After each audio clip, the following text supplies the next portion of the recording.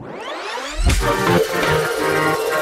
Hello दोस्तों, स्वागत है आपका हमारे चैनल पर। आपके फेवरेट सीरियल तेरी मेरी डोरिया में चल रहा है हाई वोल्टेज ड्रामा जहाँ पर सीरत चलेगी साहिबा के खिलाफ घटिया चाल। आने वाले एपिसोड में देखने को मिलने वाला है। अंगद और साहिबा अपने दिल की बात एक दूसरे से कह देते हैं और अंगद साहिबा से प्यार करने लगा है। ये सच जानकर अपनी आँखों से देखकर सीरत बुरी तरह से बिखर जाती है।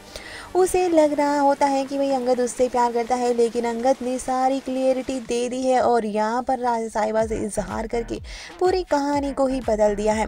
सीरत के पैरों तले ज़मीन खिसक जाती है जब वो ये सुनती है कि अंगद साहिबा से प्यार करने लगा है और अब उन दोनों के बीच में पति पत्नी जैसा ही रिश्ता है, जो अब यहाँ पर उसको हमेशा के लिए अंगद को उससे दूर कर देगा।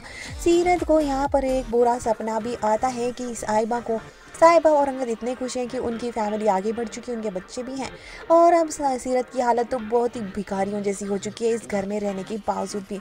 और अंगद ने और साहिबा ने उसे पूरी तरह से इग्नोर कर दिया है, जिसके बाद सीरत यहाँ पर साहिबा को ही रास्ते से हटाने की यही सपना उससे पहले कि पूरा हो जाए। और यहाँ पर वो बहुत ही बड़ी साजिश रचेगी और साहिबा को रास्ते से हटाने की कोशिश करेगी। जी हाँ दोस्तों, देखने को मिलने वाला है कि साहिबा और सीरत, साहिबा और अंगद की एक्सीडेंट की बात जो सिमरन ने करी थी, उसने जो सपना देखा है, वही सपना अब कहीं ना कहीं सच होते दिखेगा। जब सीरत अपनी घटिया साजिश रचेगी, अब वही इससे पहले से सिमरन को डर था कि साहिबा और अंगद का बहुत बुरा तरह से एक्सीडेंट हो चुका है।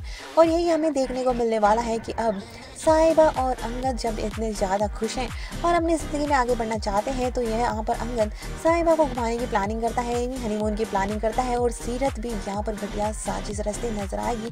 साहिबा को हमेशा के लिए अपने रास्ते से हटाने की तो देखना दिलचस्प होगा कि अब सीरत की ये घटिया साजिश क्या सच में पूरी हो पाती है या फिर कोई प्लान उल्टा पड़ता है।